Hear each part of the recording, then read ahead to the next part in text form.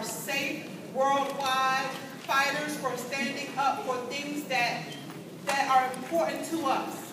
So we want to welcome them. We want to welcome them with open arms, and we want to welcome them standing up when they You look at me, Rocky, Well, Rocky. I commend, I commend all of you for, for being here, and everyone is struggling, trying to bring forward a fact, poverty. No one believes it.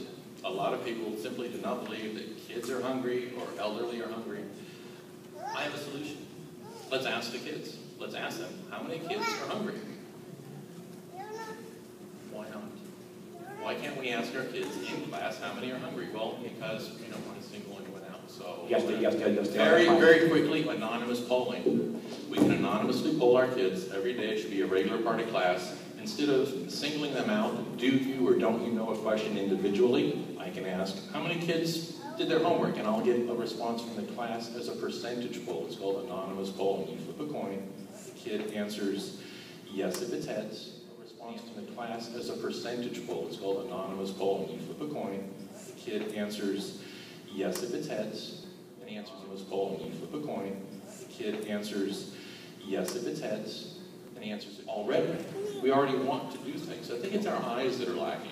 Okay, I think when people hear, oh, one out of five kids are criminally victimized. You talked about people who can't defend themselves. Even an elderly person usually has more wherewithal. They know who to call, for someone to call. They have someone to call. Kids, they have no one. If they're in crisis, the statistics are one out of five are criminally attacked by 18. Criminally means it's meant the criminal definition. You can be taken to jail for doing something. Now, most of us as parents, we get upset way before it reaches criminality. So if it's one out of five, there was a Million Father March. 200,000 fathers of the Million Father March should be up in arms about the one out of five statistic. So we hear these statistics and they go in one ear out the other. It's like stepping over the dying person for a coffee. We do that every time we hear the statistic of one in five kids abused. And we let it go in one ear and out the other. Same thing with poverty. We, we try to put a human face on it, so then human it's face. difficult to Ask put. kids Every morning, it should be a part of class. We talk about inclusion. If I'm overly let- let- smart, let- me jump right quick up. So, are you, talking about your logic?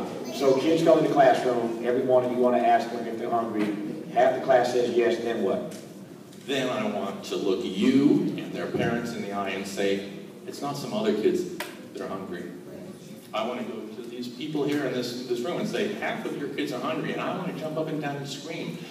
I can't scream quite as much because it's like, well, they might be hungry, or it's some other kids, or it's the statistics in a paper. Okay, I think this individualized, I think it'd be very powerful. Got it. Thank you for your comment, we appreciate it. Yes, sir.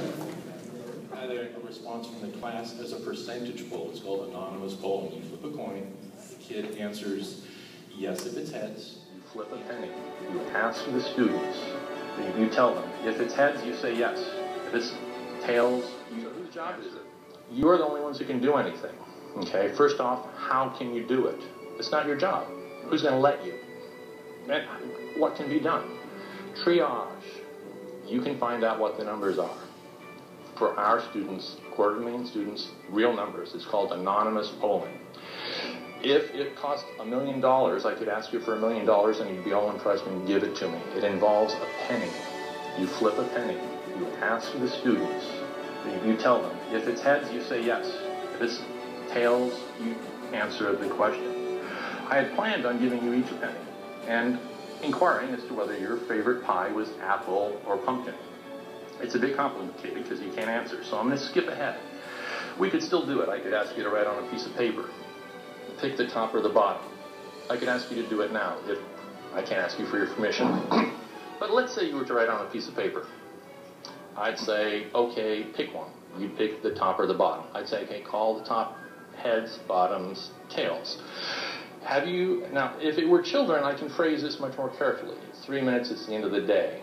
It could be phrased as, you know, and you will spend hours deliberating this. Believe me, the question can be phrased. Has anything happened that you were uncomfortable, that you felt trapped and you couldn't share with an adult? It could be that simple, and you can have an answer that will not uh, upset parents, it won't upset the kids.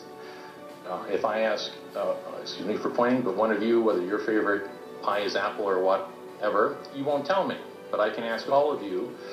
You'll You'll say heads, heads, tails, tails, heads, heads, heads, tails, tails. None of you will know whose favorite pie or whatever. Okay, so we can ask our children these tough questions that is not